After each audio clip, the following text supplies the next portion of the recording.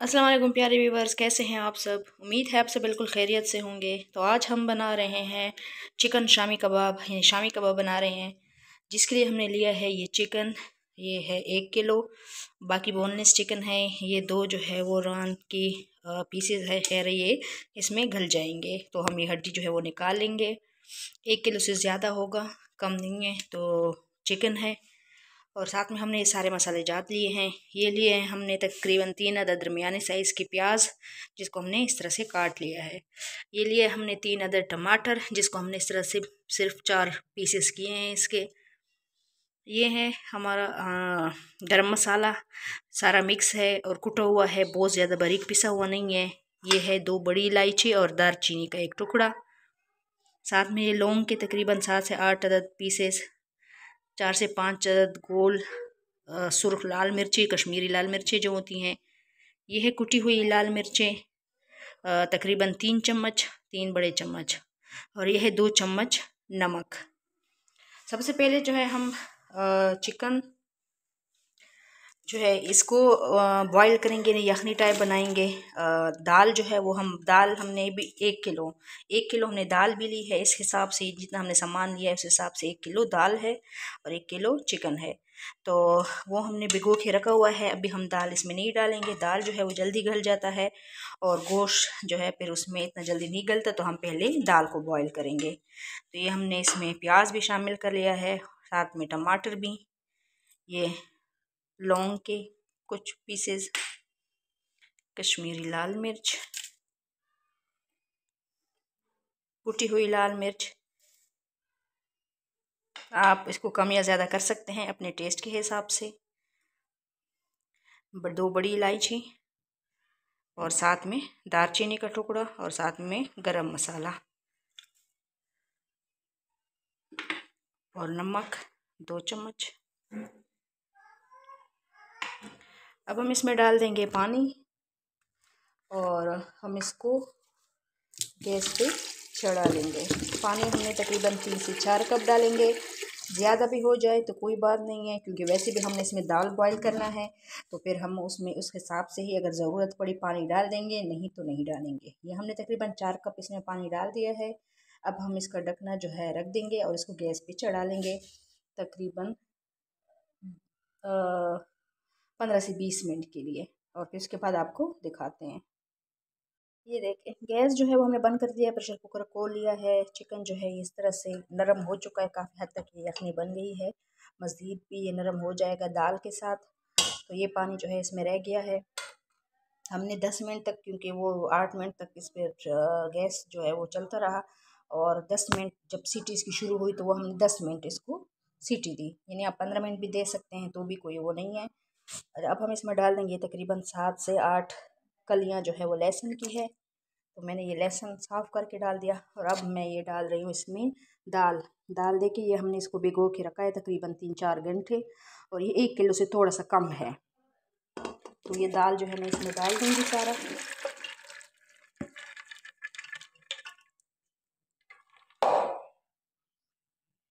ये देखें, दाल मैंने इसमें डाल दिया है। हम इसमें ये पानी जो है इस हिसाब से बिल्कुल काफ़ी है।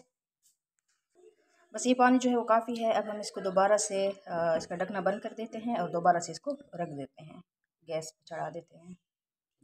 तकरीबन पंद्रह मिनट के लिए हम दोबारा इसको सीटी देंगे। ये देखिए, गैस जो है हमने हटा दी है। इसको गैस बंद कर दिया है और तकरीबन बारह मिनट जो है हमने इसको सीटी दी और ये देखें। पानी अभी थोड़ी सी इसमें नमी है तो हम इसको गैस पे ढकना नहीं रखेंगे, लेकिन हम इसको गैस पे चढ़ा देते हैं। और ताकि ये जो नमी है, ये भी खुश्क हो जाए अच्छी तरह से। और ये चिकन जो है, ये ये देखें, अच्छी तरह से ये चमचे की मदद से भी ये देखो टूट रहा है, और ये भी अच्छी तरह से इसमें मिक्स हो जाएगा। और ये भी सारा, ये देखें, ये वाली जो है हड्डी इस तरह से निकल गई है। और ये हम हड्डियाँ जो हैं, दो, जो थी वो निकाल लेंगे एक प्लेट में।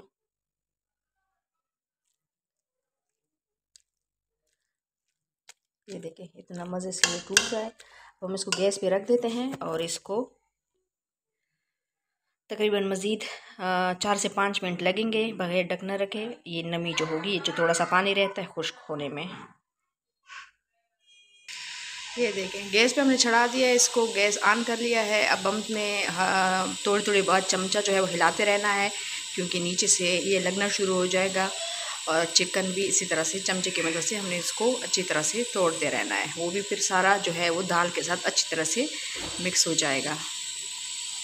सिर्फ़ तीन से चार मिनट जो है हमने इसको गैस पे रख के रखा है और ये देखिए पानी इसकी जो है वो खुश्क हो गया है। तो अभी हम इसको रूम टेम्परेचर पे रख देते हैं ठंडा होने के लिए। रूम टेम्परेचर पे रख देते हैं ठंडा होने के लिए। जब ये ठंडा होगा तो ये मज़ीद थिक हो जाएगा, इसका सारा पानी जो है वो खुश्क होगा। तो उसके बाद हम फिर आपको दिखाते हैं अगला प्रोसेस ये देखिए, अब हमने ये बड़े वाले चमचे की मदद से बैक साइड से इसको इस तरह से मिक्स कर लेना है अच्छी तरह। गरम गरम होगा तो जो दाल, अगर साबित दाल है तो वो भी टूट जाएँगे, गोश्त भी जो है वो बिल्कुल मिक्स हो जाएगा इसके साथ। तो ठंडा होने से पहले ही हमने इसको इस तरह से मिक्स कर लेना है।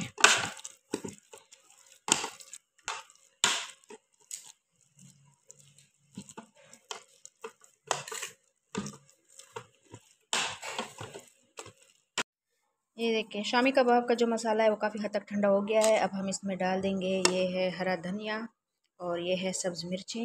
ये हम इसमें डाल देंगे और इसको कर लेंगे अब अच्छी तरह से मिक्स। ये देखो, जितना भी मॉइस्चर था वो सारा भी अब ख़त्म हो चुका है, ठंडा होने के बाद।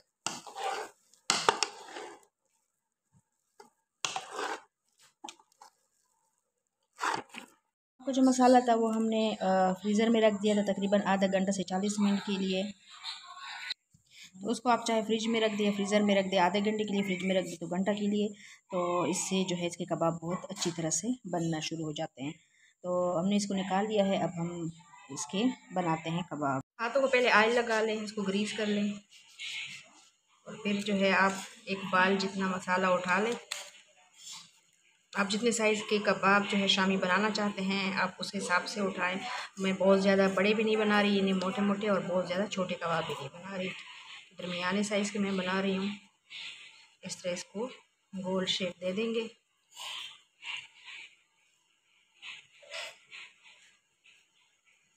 ये देखिए इस तरह से। और ये जो है इस तरह से मैंने शामी बना लिए हैं। तो इस तरह से आप करके इन सब के आपने शामी बना लेने हैं। शामी कबाब हमने बना लिए हैं। ये देखें। अब हमने एक प्लेट में एक अंडा तोड़ दिया है और साथ में हम एक चुटकी इसमें नमक डाल देंगे। इसको अच्छी तरह से हमने फेंट लेना है। आप अगर चाहे तो आप कबाब का जो मसाला है, उसमें भी आप अंडे डाल सकते हैं। यानी आप उसमें अगर अंडे डाल देंगे तो बाद में फ्राई करते वक्त आपको फिर ज़रूरत नहीं पड़ेगी अंडा अंडे की ना। लेकिन फिर भी वो कहीं ना कहीं से कभी कभी टूट जाते हैं। तो इस वजह से मैं इसको अंडे की ही कोटिंग करूँगी। फिर वो बहुत अच्छे बनते हैं। अम्मी जब भी बनाती है वो अंडे डाल देती है। वो कहती है कि फिर कभी घर में अंडे हो, ना हो, मेहमान आ जाए कभी भी तो बंदा जो है वो जिस वक्त भी दिल करे तो कबाब, फ्राई वैसे ही कर सकता है, अगर अंडे ना भी हो।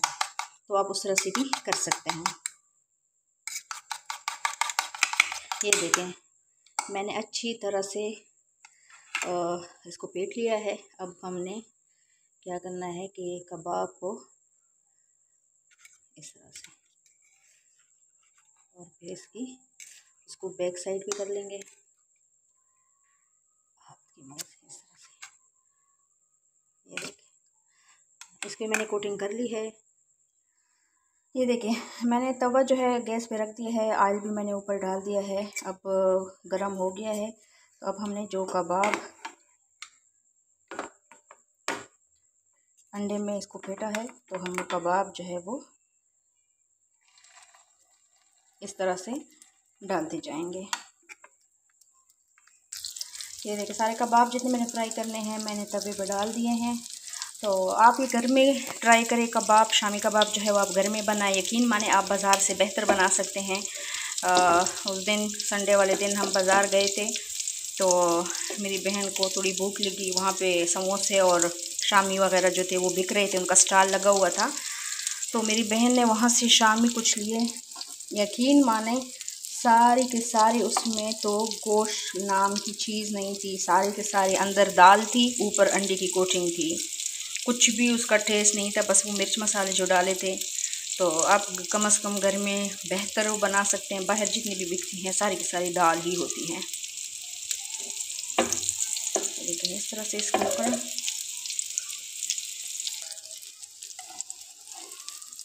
ये देखो। एक साइड जो है इनकी फ्राई हो जाए तो आप उसकी साइड चेंज कर लें। इस तरह से। गैस जो है वो बहुत ज़्यादा तेज़ ना रखें। तो इस तरह से हमने इनकी अब दोनों साइड जो है वो फ्राई कर लेनी है। सारे शामी की मैंने साइड जो है वो चेंज कर ली है, इनकी दूसरे साइड कर ली है। खुशबू भी माशाल्लाह बहुत ही मज़े के आना शुरू हो गई है। ये देखें, शामी जो है वो फ्राई हो चुके हैं, गैस हम बंद कर लेते हैं और इसको जल्दी से उतार लेते हैं। ये देखें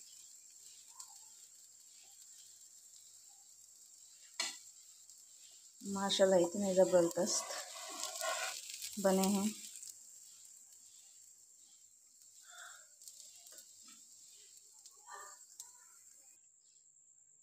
ये देखें, चटनी के साथ हमारी जो पुदीने और धनिया की चटनी के साथ शामी बिल्कुल रेडी है। आप चाहे तो सॉस के साथ आप इसको केचप के साथ मतलब किसी भी चीज़ के साथ जो आपको पसंद हो उसके साथ खा सकते हैं। मुझे चटनी खुद पसंद है तो मैंने चटनी इसके साथ सर्व की है।